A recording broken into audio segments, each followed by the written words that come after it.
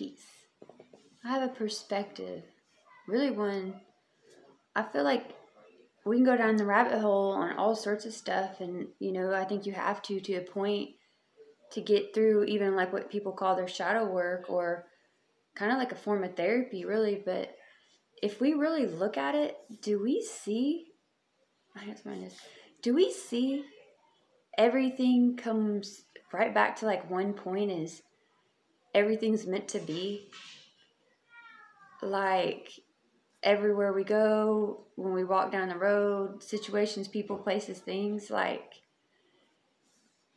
i felt like even going through my journey in life if i look at everything i've done like looking back now of course you know I had to go through like the lessons to understand i guess the sense of duality really but everything got me to where I am, even if it it grew me in some form, but it was all meant to be to where I am now. And to add the free will, like I make the conscious choice not to be a victim or to live in fear or to let my mind play tricks on me anymore. I'm done. Like um I choose to see the good and the positive and the love and I look back now everyone that's been in my life. I'll just give that an example because you can go in all aspects, every situation, everything, like even the foods I ate or, you know, like everything. It was meant to be. And when I look back, you know, I didn't know what everyone's taught me a lesson.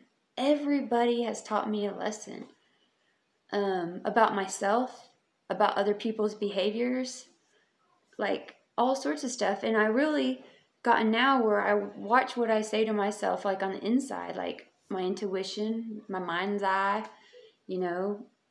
Um, and I believe if I choose not to be critical and judgmental to anyone else, as I as for myself, as above, so below kind of vibe, that life is so much more beautiful because if I'm constantly criticizing and judging somebody, yeah, I don't have to agree, but they're not on my path.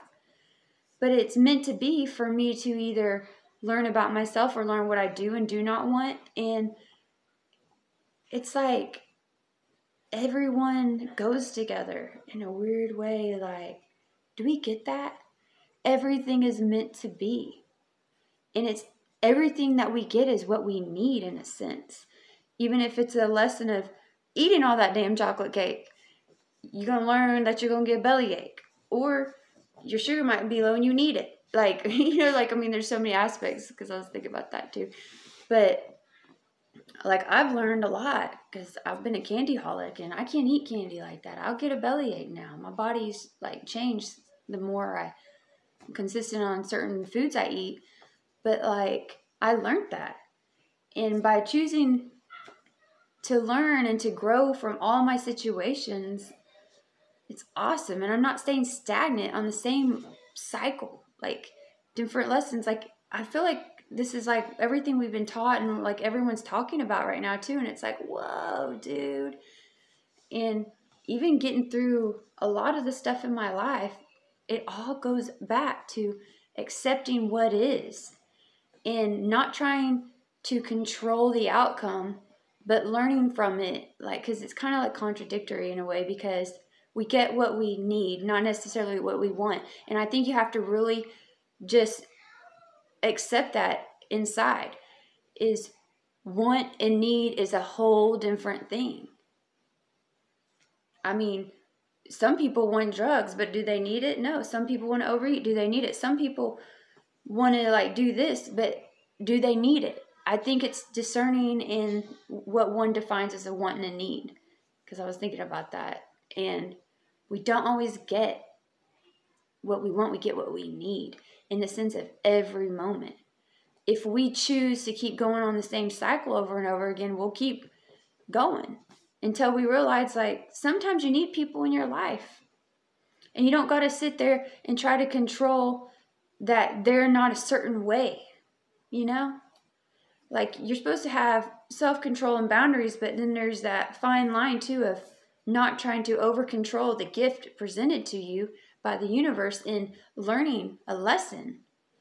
Do we get that? Like, I feel like it can all be kind of summed up, but I guess we you have to admit stuff, like on an inner level, because everything I've been like observing and watching with people now, like this is my perspective, but it all goes back to being in the moment, accepting things, ex- listening to what you're saying inside. You, you, you know your higher self, your mind, um, not being your own critic, and you know there's I'll just use it like a negative critic in there, which is like helps us with duality, which is needed. But in a sense, once we get point past that point, it's like free will.